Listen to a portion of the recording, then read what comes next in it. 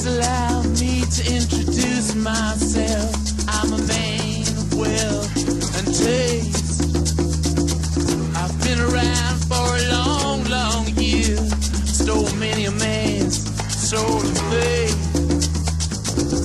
I was around when Jesus Christ had his moment of doubt and pain.